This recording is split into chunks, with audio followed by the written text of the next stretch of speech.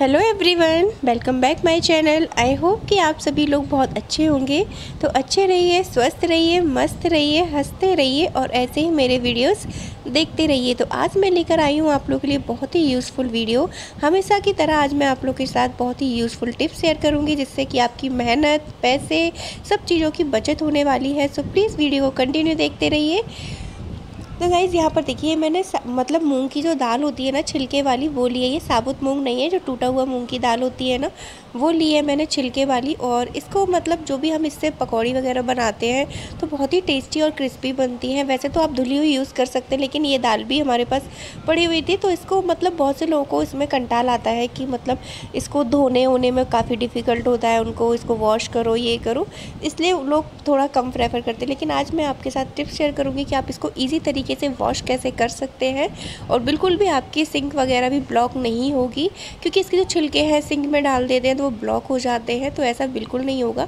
तो आपको क्या करना है कि दाल को पहले किसी भी ऐसे बर्तन में ले लीजिए, जिसमें आप अच्छे से उसको मलकर साफ़ कर सकें, ठीक है? तो मैं यहाँ पर इस छोटे से प्लेटर पर रख रही हूँ। आप बीच प्लेटर पर कहीं रखिए, क्योंकि यहाँ पर ही कैमरा विजिबल हो रहा था, इसलिए मैं यहाँ पर रख कर कर रही हूँ। तो इस तरीके से आपको हाथों से इसको रफ़ करना है, ठीक है? वैसे तो सारा मैंने हम चार घंटे के लिए इसको दाल को भिगो दिया था तो जितने भी इसके छिलके वगैरह होते हैं, वो अपने आप ही निकल जाते हैं। लेकिन कुछ कुछ दाल के टुकड़े ऐसे होते हैं जिन पर लगा होता है तो आप उनको इस तरीके से रफ़ करेंगे, मसलेंगे तो जो जिन पर चिपका होगा ना, उनसे भी निकल जाएगा। फिर क्या है कि आपको एक दो वॉश में ही दाल अच्छे से बिल्कुल साफ़ हो जाएगी, ठीक है?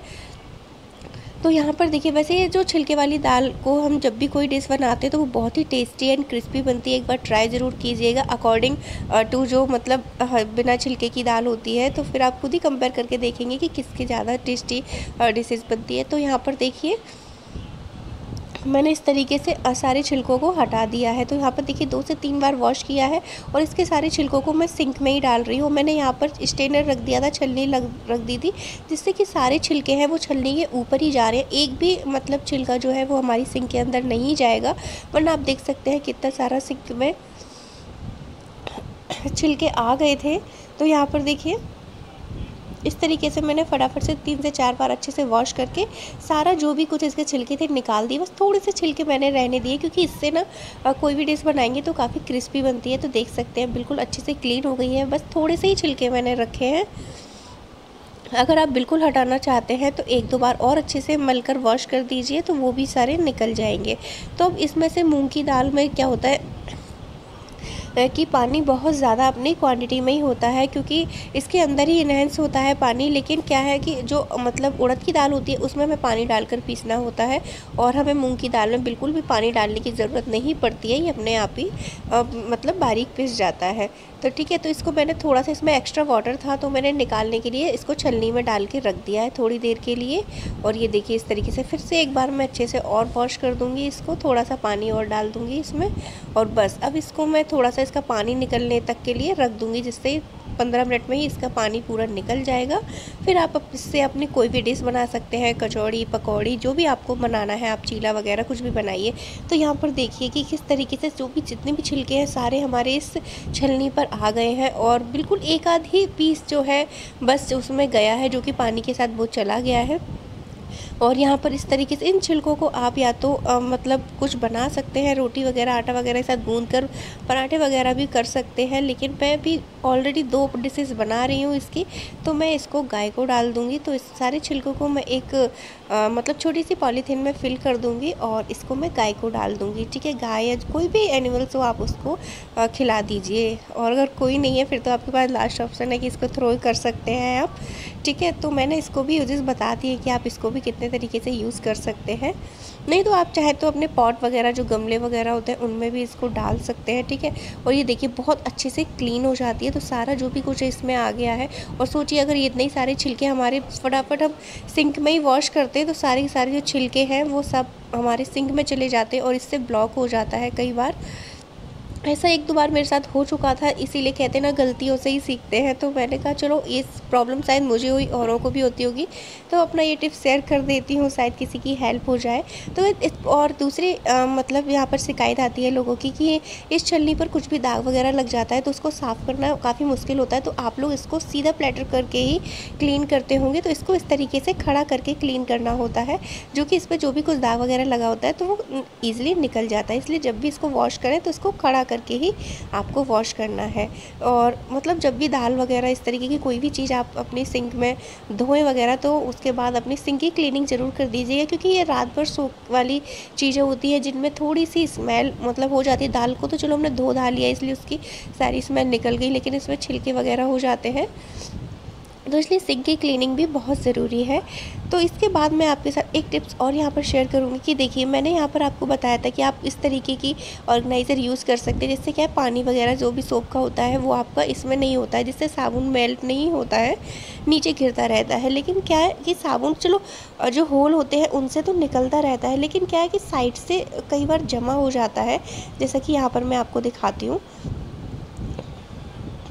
तो यहाँ पर देखिए तो आपको क्या करना है कि आ, मतलब एक जो भी आप अपना स्पॉन्जर यूज़ करते हैं बर्तनों को क्लीन करने के लिए स्क्रबर स्पॉन्ज जो भी यूज़ करते हैं आप उस पर साबुन को इस तरीके से रख दीजिए ठीक है?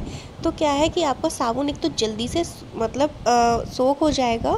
यहाँ पर जल्दी से मेल्ट भी नहीं होगा, इस तरीके से आपको रखना है। और इससे क्या होगा कि आपका जो साबुन है वो मेल्ट नहीं होगा और साबुन का जो भी एक्स्ट्रा साबुन इधर उधर लग जाता था वो अब आपका नीचे नहीं लगेगा और सारा का सारा स्क्रबर पे ही रहने वाला है। और इससे क्या है कि तो जल्दी सूख जाएगा और कई बार क्या होता है ना, ऊपर से हल्का सा गीला हो जाता है। जैसे कि मैं आपको यहाँ पर दिखाती हूँ तो इस तरीके से आप पोछ दीजिए, जो भी ऊपर का गीला है। तो इससे क्या है, जल्दी साबुन आपका सूख जाएगा। किचन वगैरह में इतनी धूप नहीं आती है तो इसलिए मेल्ट होता रहता है। और यहाँ पर देखिए, जो साबुन मेरे हाथ में लग गया था साफ़ करने के लिए, मैंने साबुन का जो भी एक्स्ट्रा वाटर था निकाला था, उसी से फिर मैंने क्या किया टैप पर इस तरीके से रगड़ दिया। क्या है कि हाथ ऐसे ही धो लेती तो वो साबुन सारा ऐसे ही वेस्ट हो जाता तो मैंने मतलब इस तरीके से छोटी छोटी चीज़ें करते रहते हैं। तो एक तो क्लीनिंग भी हो जाती है और यूज़ भी हो जाता है। छोटी छोटी चीज़ों से अगर सोचें तो बहुत सारी बचत होती है कि हाँ देखिए, इस पर इतना सारा सोप लग गया है ना तो अब आप इसी सोप को मतलब बर्तन वगैरह धोने के लिए यूज़ कर सकते हैं। किसी भी चीज़ के लिए आप इसको यूज़ कर सकते हैं तो इस तरीके से स्क्रबर रख दीजिए। स्क्रबर रखने से क्या है कि स्क्रबर तो एक तो पानी जो है स्क्रबर में होगा, वो भी धीरे धीरे करके नीचे आता रहेगा और आपका साबुन भी मेल्ट नहीं होगा। तो गाइज़ नेक्स्ट टिप्स है यहाँ पर कि जब भी हम कपड़े वगैरह सुखाते हैं क्लॉथ पिन लगाते हैं तो कई बार कम पड़ जाती है क्लॉथ पिन तो ऑलरेडी मैं एक दो टिप्स और भी पहले शेयर कर चुकी हूँ वीडियोज़ में। तो आज एक टिप्स और मेरे माइंड में आई थी, जो कि मेरे साथ ऐसा हुआ था तो मैंने सोचा चलो शेयर कर देती हूँ आप लोगों के साथ। तो यहाँ पर देखिए, कुछ कपड़े होते हैं ना तो कम पड़ जाती है क्लिप्स वगैरह तो आप एक क्लेचर का भी यूज़ कर सकते हैं। एक्चुअली क्या हुआ कि मैं छत पर खड़ी हुई थी और वहाँ पर अपना कपड़ा सुखा रही थी तो हवा चल रही थी। मुझे वहाँ पर कोई भी क्लॉथ पिन भी नहीं थी, क्योंकि मैं नीचे ही कपड़े सुखाती हूँ। वहाँ पर सडनली मैंने थोड़ा सा धूप लगा लेती हूँ, हवा चल रही थी तो मैंने क्या किया, अपना क्लेचर ही लगा दिया। तो वो बिल्कुल भी मतलब उड़ नहीं रहा था तो मैंने कहा, चलो, ये आइडिया अच्छा है। तो मैंने आप लोगों के साथ शेयर कर दिया। आइडिया पसंद आया तो एक लाइक ज़रूर दे दीजिएगा। तो यहाँ पर देखिए, कितना भी खींचेंगे आप तो भी नहीं निकलेगा, क्योंकि बंदर वगैरह छत पे आ जाते हैं तो हमेशा खींच देते हैं। वो कपड़ों को ले जाते हैं और फाड़ फूड़ कर हमें दे जाते हैं, छोड़ देते हैं इधर उधर तो इस तरीके से आप लगा सकते हैं। तो गाइज़ सबसे बड़ी, मैं आप लोगों से यहाँ पर एक चीज़ पूछना चाहती हूँ, कुछ बता नहीं रही हूँ कि जब भी आप लोगों के पास कोई भी ऑप्शन होता है कि हाँ चलो हमें लहसुन, बिना लहसुन, प्याज का खाना बनाना है तो आप क्या बनाते हैं? मेरे माइंड में सबसे पहले तो यही आता है कि चलो पूड़ियाँ बना देते हैं, आलू, टमाटर की सब्ज़ी बना देते हैं थोड़ी सी पेठे की सब्ज़ी बना देते हैं और उसी के साथ थोड़ी सी हरी मिर्च भी फ्राई कर देते तो मैं तो हमेशा जब भी बिना लहसुन, प्याज का कोई भी ऐसा गेस्ट आता है या बनाना होता है पूजा पाठ के लिए तो मेरे माइंड में सबसे पहले यही आता है। आपके माइंड में क्या आता है, मुझे कमेंट सेक्शन में ज़रूर बताइएगा। वीडियो पसंद आया तो वीडियो को लाइक और चैनल को सब्सक्राइब ज़रूर कर लीजिएगा। फिर मिलेंगे आप सही किसी अपने नेक्स्ट वीडियो में। Till then bye